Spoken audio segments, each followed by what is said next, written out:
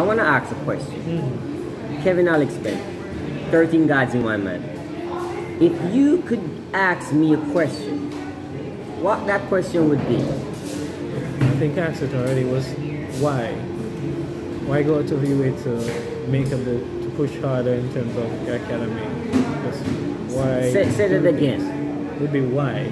It, it would be why. Why what? Why would you go out of your way to not only create a book, but then to push hard with the academy, to develop your website, to sell, to set your platforms? It's like what motivates you to just go out and do it? You see, when you ask me that question, it's like your, your eyes are looking up mm-hmm. and you're looking in that great brain of yours and then you could just select these questions. Interesting.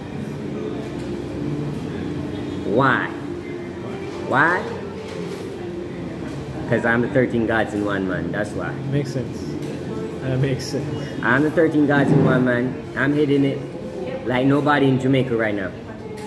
For I am, I am. For I am the 13 gods in one man. So Kevin Alex Bent, question, why?